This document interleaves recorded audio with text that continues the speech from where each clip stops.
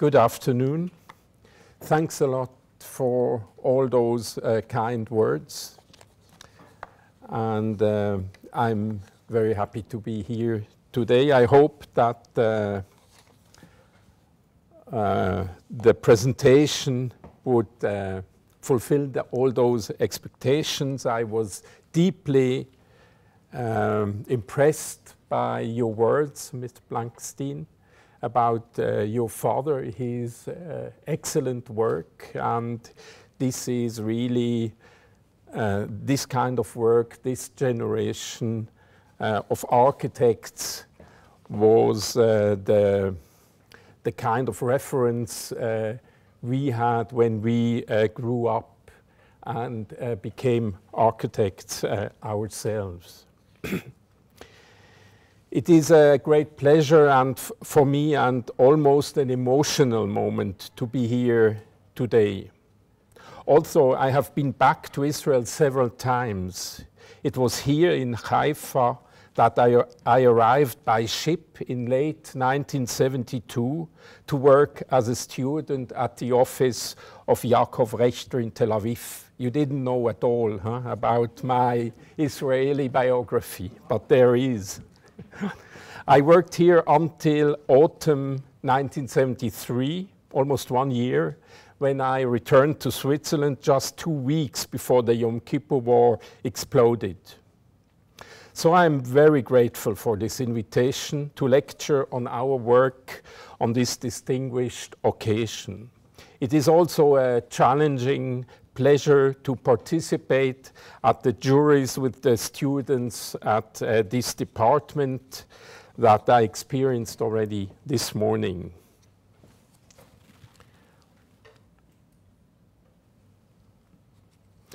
Let me begin my description of our approach to architectural design by discussing this small office building in Basel, which we designed in the late uh, 90s. The building stands adjacent to the railway tracks and across from the city's main railway station. It is a solid, regular skeleton that consists of reinforced concrete and which defines the rectangular floor plan of the building.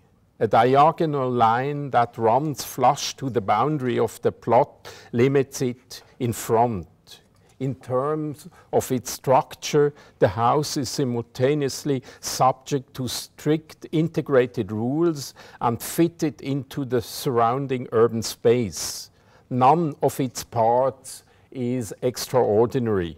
The cuts for the windows openings follow sim simple numerical ratios with each window spanning an entire load-bearing field. The openings are large, but despite their unusual dimension, they nevertheless read as windows. We do not aim to reduce the architectonic form to the absolutely essential. Instead, we pursue a simple synoptic handling of the individual parts that have again and again shaped our architecture, our experience, and our appropriation of them over the course of the history of architecture. And this is why no architectonic gesture seems to determine uh, uh, the character of the edifice. Indeed, those parts of the building that are special and striking seem to follow rules that lie beyond the choice of the architect. Individual parts are even integrated back into and become part of the overall structure, as is the case with the diagonal wall, for instance, which is integrated by the blind window, bay window. Here, this establishes a reciprocal, uh, reciprocal relationship between the building and the surrounding urban space. The house has been cut into the urban space, while the form of the buildings has in turn shaped the urban space. This is why, from the very first day, the small office building seemed to have an indefinite age that was not solely due to the darkly stained concrete. The idea of a building's permanence and the idea that a house could testify not just to a contemporary design gesture, but to the complex and rich identity of a specific site fascinated us from the very beginnings. It is about artifacts that have gained meaning based on the different conditions and aspects that relate to the site and to the program, and that has, in the end, shaped them from the inside and from the outside. This is a position that deeply relates to our experience of European cities, their eternal metabolism of destruction and reconstruction, and their painful and endless history. When we conceive a new building, we feel that our design practice is always being conditioned by what we extrude from a site as its permanent identity.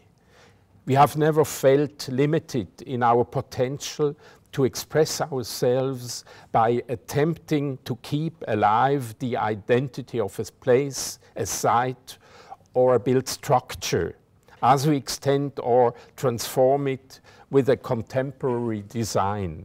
On the contrary, it has turned out to be an eternally inspiring mode, the very source for our specific way to design architecture.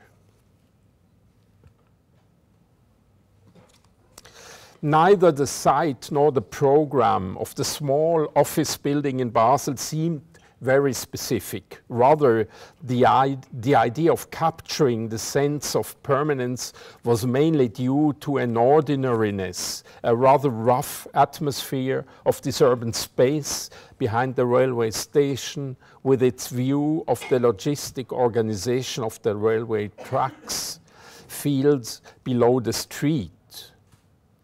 In the case of two houses that we designed for an old pier in Amsterdam, part of a large urbanization project, the building site seemed, in contrast to the Basel, specific for us. The houses that we proposed in this case refer to the characterization of the island as part of the historical docks of Amsterdam. Here, the assignment seeks to respect the historic identity of the island and place the entire facility of the context of its neighboring commercial pier and the examples of old harbor architecture. In such a context, it is not only the new buildings that need to find their meaning, the old buildings also need to be integrated into the project and in doing so be recreated. It is the aim of this approach to establish a specific balance between all the parts, between the old and the new, between the new and the old. distinct from the other large residential houses on the island with their play of windows, of loggias and balconies, the longhouse displays only a single window type. By shifting each opening by half a stone, the openings lose their abstract geometrical character of a grid type system the expression of a rough, archaic building structure remains the predominant characteristic. So this was the, the example of that. Uh, oh, there is a red one. Now the other one. We called that courthouse the reference to the old storage and, tra and transshipping buildings result in the new concepts for organizing our residential buildings, particularly for the so-called courthouse, the regular grid of the load-bearing structure became the driving force of, for organizing the apartments. These apartments consist of a series of similar rooms that stand adjacent to each other without any traditional distribution system inside the, the apartments. What led us to this radical design was our exploration of the existing built structures in the old commercial port. Thanks to this, we managed to maintain the identity of the port's specific space, even thought the program called for urbanization that comes with the risk of completely shifting the identity of the place.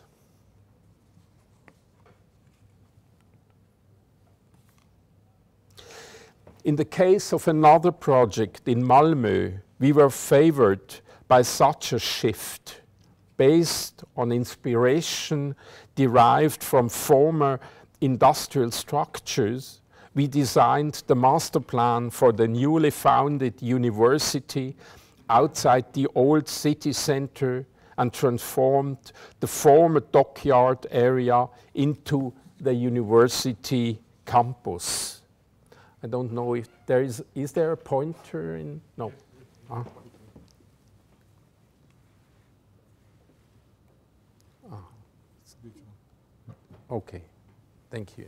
So it is about that uh, area, former dockyards that were uh, tr transformed into uh, the university campus area, uh, courageous uh, decision, uh, um, po courageous political decision since, oh, sorry, since Malmö as an industrial city lost, uh, lost so many opportunities to work and in this uh,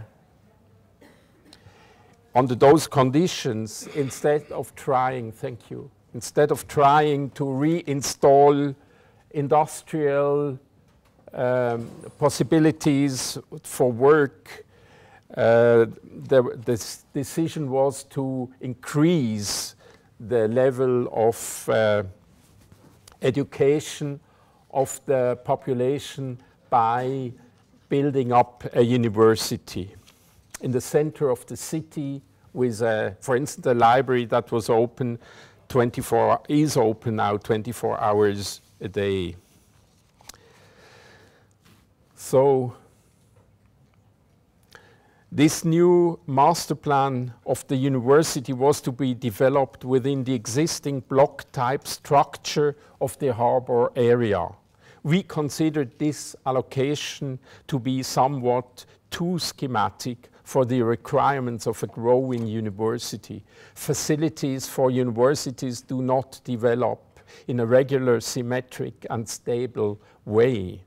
Rather, in terms of growth, their development is uneven, requiring extensions rather than new buildings in order to quickly adapt and maximize the synergies between the departments and disciplines at home on the campus. we soon gave up the idea of reproducing traditional urban street spaces around new, the new university buildings. Following the inspiration from the powerful industrial facilities in the harbor, we decided to consider the new built structures in terms of conglomerates that can be extended with additions. So we presented a vision of a conglomerate that unfolds as an industrial texture and becomes increasingly dense. When we looked at the historical industrial structures that had developed over the time, we found that they had produced a vision of urbanity within themselves, as you can see in this one um, uh, image of a, of a mill complex.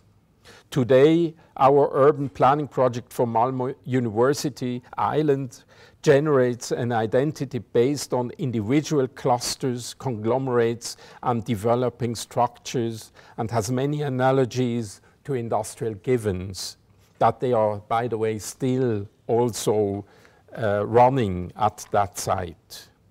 One new building for the campus needed to be erected almost immediately the teachers training center for this building we worked on a structure that incorporates the principle of growing clusters.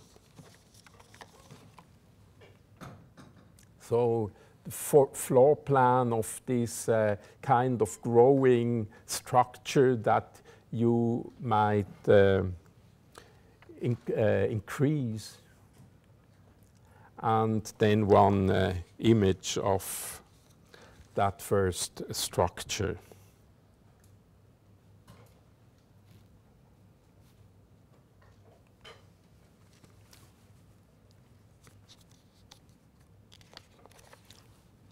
Sorry. Let's go back some 15 years. While the identity of the site deeply influences the house in Amsterdam and, and Malmö, influence for the shape of the Gmurzynska Gallery in Köln, Germany, is due to a greater degree to the specific program of the art gallery. The building, designed in the 80s, has sometimes been related exclusively to those examples of Soviet avant-garde that the gallery has systematically collected and published for many years. However, it would be wrong to merely consider this Red House as some kind of late reflection on this uh, progressive concept and vision.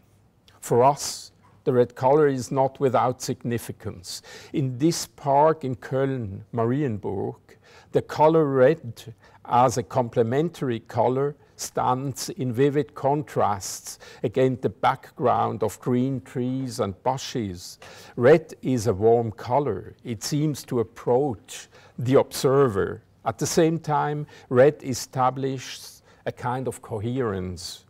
The color red enabled us to design the individual surfaces of the building without destabilizing the impression that it is an entity. Red paint protects the wooden cladding, which in turn protects the entire structural part. As mentioned before, our architecture is not the result of a process of reduction in the sense of minimalism. Thought the house does not gain its form from a process it is to be approached as an expression of the balance that exists between the manifold forces that affect it. The composition results from a kind of debate. Again, I consider the resulting buildings to be motivated by the external and internal forces and our attempt to balance these forces. The project of erecting an exhibition hall in this upper class residential district, characterized by large gardens, was far from self evident. Moreover, our clients did not just strive to establish an excellent exhibition program, they were also interested in the systematic research of 20th century modernism whose many facets were to be concentrated and presented here.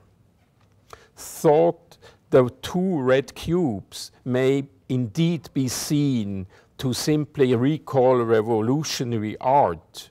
Their design is rooted in the tradition of rural Nordic classicism.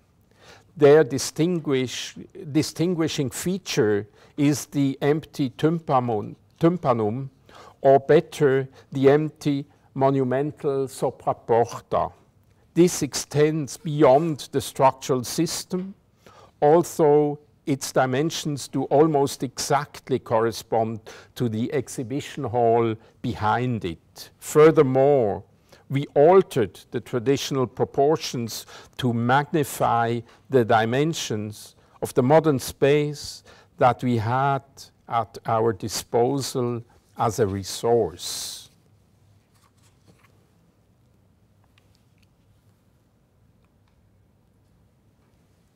The floor plan shows the same aspect of a parallel presence between the different parts as is evident in the, evaluation, in the elevation. The three smaller cabinets and the large exhibition hall stand adjacent to, the other, to each other. You see those cabinets, exhibition cabinets here and the larger hall on the right side different proportions, sizes, and types of natural lighting distinguish the different kinds of spaces. That is to say, their floor plan reflects contour of their elevation and vice versa.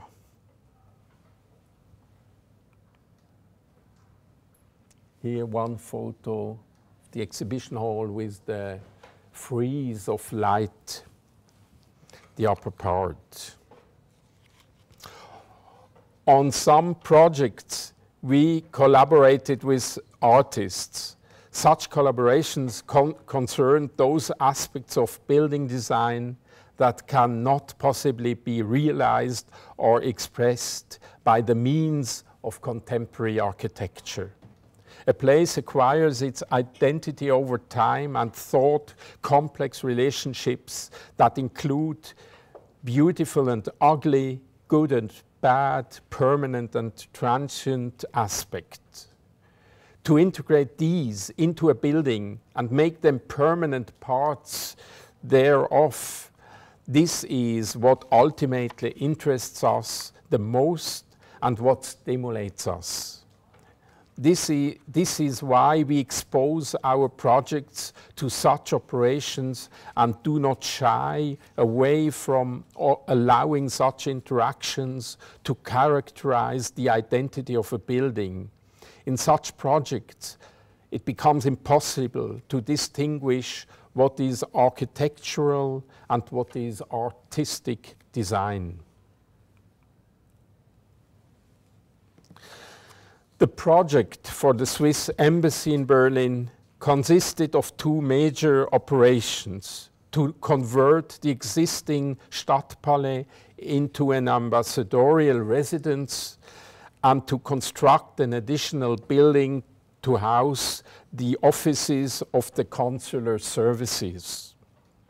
The former Stadtpalais at the left side is a historical landmark because it is the last remaining building of the Alsen quartier. This elegant neighborhood was partly destroyed by the Nazi to prepare the field for Adolf Hitler's megalomaniac Ruhmeshalle des Deutschen Reichs and partly by the bombs of the Allied armies.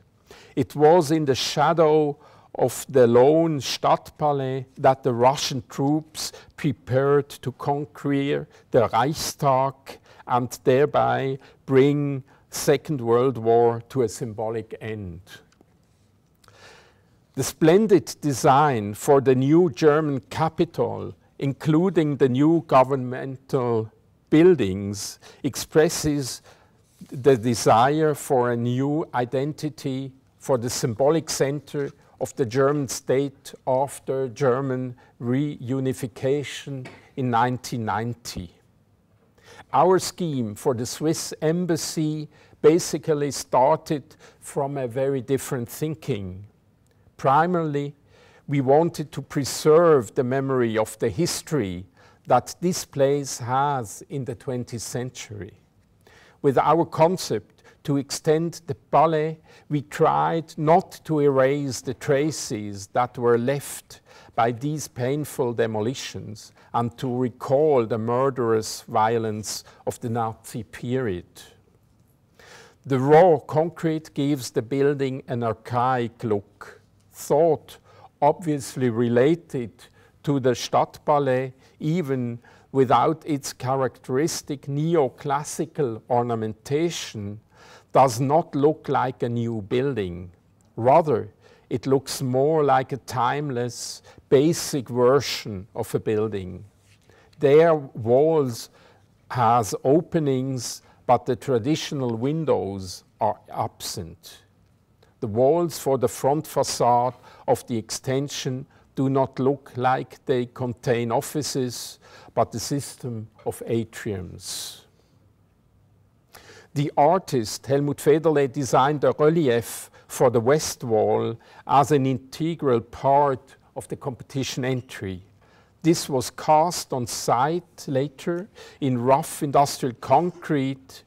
Federle's relief invokes the memory of vanished buildings, a wall with just a concrete grid that is blank and represents demolition as well as reconstruction. Throughout all the facets of this project, the past remained present as a volume and as a void, as material, texture, or co and color. Here you see the relief of Helmut Federle, 18 on 18 meters, monumental, facing the uh, Bundeskanzleramt, the new uh, government building of Germany, and here the back side of the uh, extension for the consular services, the offices.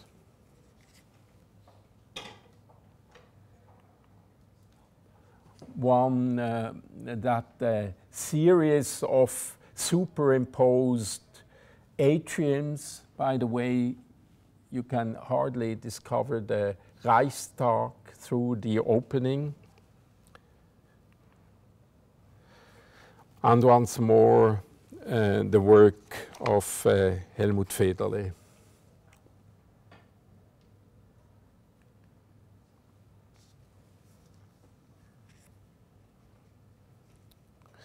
The Leip it's the Leipzig Synagogue uh, monument. It's a competition entry of 1999.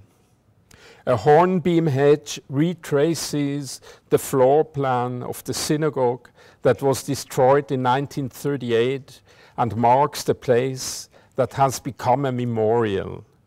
The three, the three and a half meter high hedge encloses the central nave of the synagogue, which was originally defined by colonnades and stood on the same spot. The hedge was only to be trimmed along its inner surface to form an architectural space.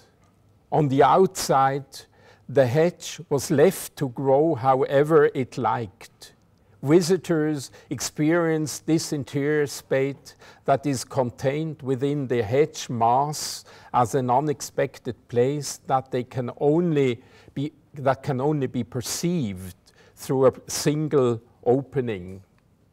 Here the model with the cut interior of the hedge while it is uh, running free on the outside.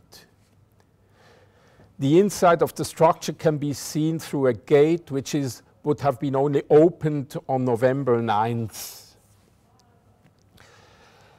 Uh, uh, the date of the destruction of the synagogue, the date uh, of the Reichskristallnacht. The difficult relationship between forgetting and remembering emerges from the contrast and juxtaposition between those parts of the hedge that grow freely and that are trimmed, between the full and the empty, the enclosed and the open parts. This enables a, spe a special for form of re remembrance. It is restrained and cannot be assumed on first glance, nor does it rashly advertise a quick understanding. It develops from the very ordinariness of an urban streetscape in order to inscribe into a very into the very space that is to be remembered, defined and preserved. The concept offers a kind of hidden space for the memorial and avoids the unproductive juxtaposition that would occur with the insignificant apartment houses building during the German Democratic Republic around. You have to explore the memorial space. It should only tell those, those something who are willing to listen. The periodic trimming of the hedge brings to mind time and again the public mandate to renew our memory of the synagogue and its destruction. If the community no longer musters the effort of maintenance and if the hedge is no longer trimmed inside, the memorial would dissolve.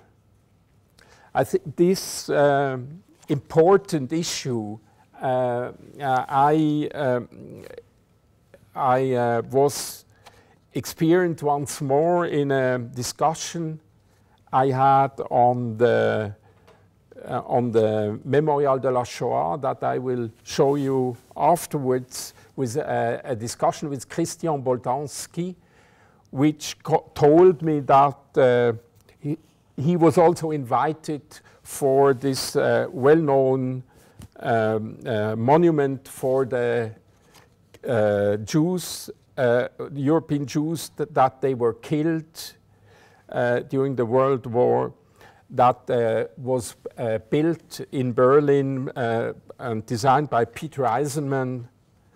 And the proposition of Christian Boltanski that he told me some years ago had a lot to do with that project uh, um, we did uh, there in Leipzig in uh, before because he suggested in Berlin to build a simple box type house and to put a chair in the middle of the room and to ask volunteers to read the names of the murdered uh, victims.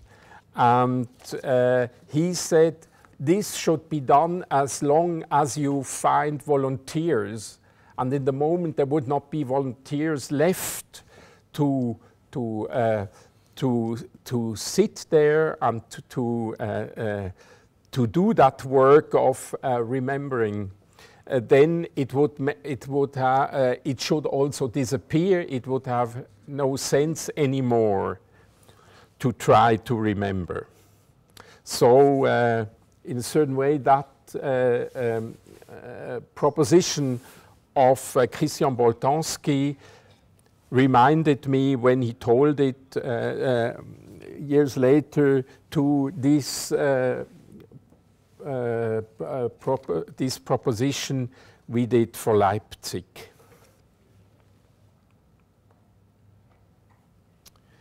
In 2002, we were invited to present a design proposition for the front facade of a shopping center in Weimar. This facade enveloped the central hall of the Gauforum Weimar, an early building complex designed by the Nazis in 1936 and defined a violent cut through the Baroque fabric of Weimar's historic center. You see below the former Weimar uh, uh, historic center, um, Baroque center of Weimar, and you and you see the buildings that have been built for the Gauforum with the central hall uh, at the right side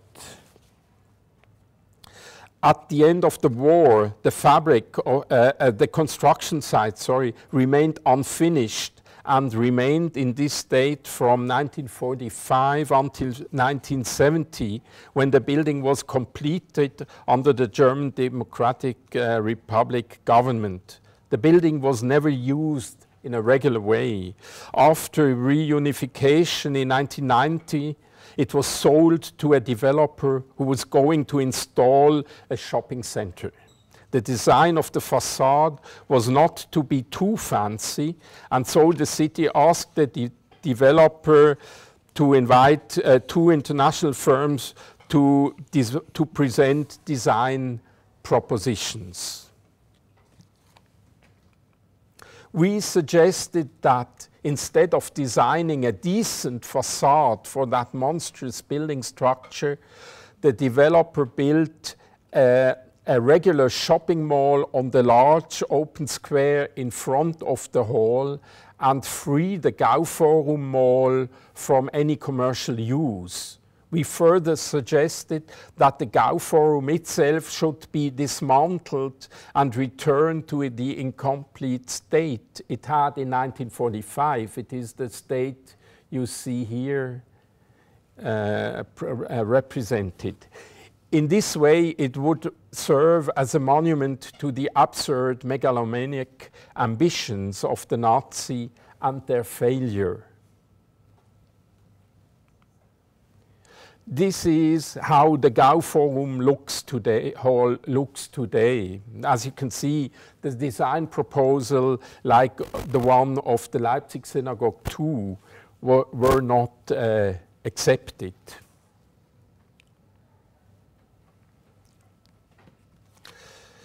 the uh, Museum of Natural History in Berlin. The museum was designed by, designed by August a student of Friedrich uh, Schinkel, and it was opened in 1889. During World War II, the museum suffered extensive damage. A firebomb destroyed the east wing, leaving only a few sections of the facade standing here how it looked like um, 2008 or 9.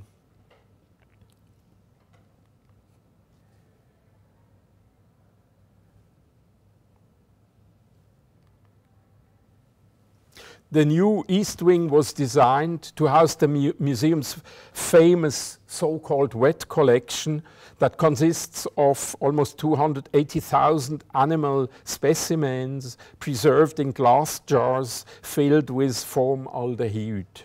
Because that they are sensitive to light, to air, and to humidity, they had to be preserved in a completely air-conditioned climate and at a constant temperature below 18 degrees Celsius. A traditional reconstruction of the old facade with windows was dismissed. Nevertheless, we suggested that visitors should be able to look at the scientific collection and even more, that they should be able to gain an insight into the scientific setting. So we placed the transparent shelves on ground floor and made the research containers secure and climate controlled and allowed the visitors to move freely around the glass cube. The new facade consists of the remaining wall fragments from the largely destroyed building and the pale grey concrete inserts. In this manner, the new facade recalls the facade's original entity without negating its history. The move might be compared to uh, an example from the, uh, uh, from the world of uh, art uh, might be compared to an image. Uh, so Tierschicksale is a painting by Franz Marc uh, from 1913 that has been damaged by water in a fire and restored in 1919 by Paul Klee, who was a close uh, friend of uh, Franz Marc. And Paul Klee completed uh, the destroyed parts of the building, uh, of the painting with achromatic additions, as you can see, and by that he really succeeded in recreating the entity of the, of the painting uh, uh, without erasing the traces of uh, what happened to the painting. So a zoom of our work on the facade with the casted uh, elements, in casted elements in concrete of the old facade, everything casted. And this is how it looks like. The cast relief does not repeat the original facade, but allows it to shimmer through as if it exists in a state out of time. The overall appearance of the rebuilt wing preserves the marks of its history, its destruction, and its renewal.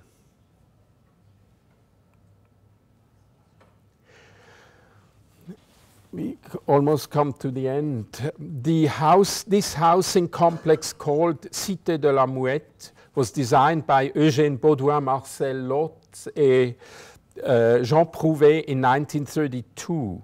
It was used as an internment camp from 1941 until 1944. French and foreign Jews were deported from here to the Auschwitz concentration camp. Of the 100,000 Jews held captive in Drancy, 76,000 were killed in Auschwitz. The U-shaped complex today serves as a housing estate. We speak about this U-shaped part. Those uh, houses, this part were uh, destroyed in the 60s.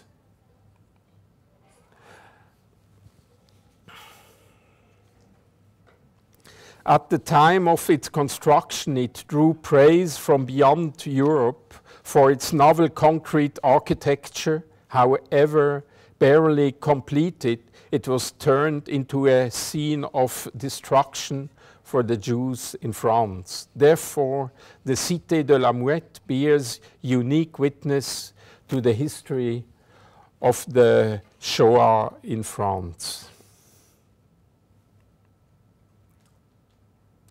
This is the site plan. And uh, you see uh, opposite,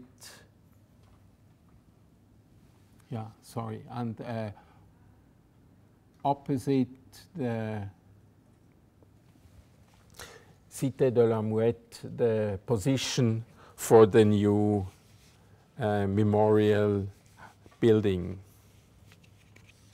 The new building to be erected in Drancy to commemorate the, uh, the Shoah should stand in an I go on and you see the images afterward, stands in an immediate proximity opposite the Cité de la Muette on the self-same street. The new building with the visitor centers and the museum serves to keep alive the memory of the victims that passed through the camp. A traditional monument was erected here previously by Shlomo Selinger in 1976, and despite the fact that in 88, 1988 a French railway carriage was installed to testify to the deportation. Uh, despite, sorry, despite this fact, um, uh, there was still impossible for visitors to understand what was going on uh, uh in Drancy. And the more that the still existing U-shaped structure uh, is used today as a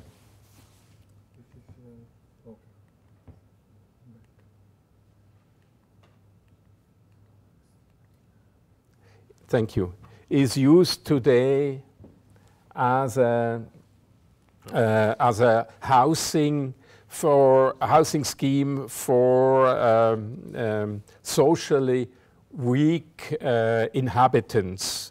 So the, uh, the opportunities to express and to explain and to express uh, what happened at uh, the Cité de la Muette at the spot itself were limited and therefore that option of that house to be built op opposite uh, street, to say so, seemed to be uh, uh, uh reasonable. Uh, the new building uh, follows the orthogonal design that is typical for the neighborhood. The vertical structure and the layering produce a specific expression. Each layer, each floor represents a different function. Here, this idea comes again. The entrance area, the rooms reserved for pedagogical purposes, as well as the documentation center for, because there is still a research going on on what happened to, uh, uh, to those um, uh, victims uh, and, and, and who all they were. The panorama lounge with their views of the Cité de la Muette across the road create a clear order together with the exhibition floor. In front, where the building faces the former internment camp, the interior spaces, separated only by glass panes, are revealed and acquire symbolic power in their simple, evident synthesis and materiality. Those are those layers, one above the other, of, of this kind of different work that has to be done. Thus, the function of the documentation center is reflected in the facade. The transparency becomes the means by which the people within the building enter into the architecture, studying and working to keep the memory of the victims alive the specific monumental expression of the building does not relate to the history of the murdered Jews. We would not dare to try to express this in architecture, but the house expresses the program of keeping the memory alive. It unfolds the work that one needs to do in order not to forget. We called it mémoire composée.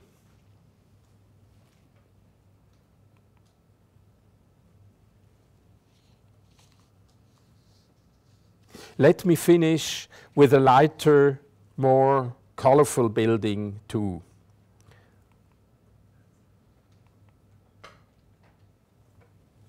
The first building for the overhauled headquarters of the Basel-based pharmaceutical company was also the first building for this international active company to have open space offices. This pilot project which stands at the entrance of the headquarters, was to facilitate the shift from cell offices to an open space office plane and was supposed to become the flagship building for the firm.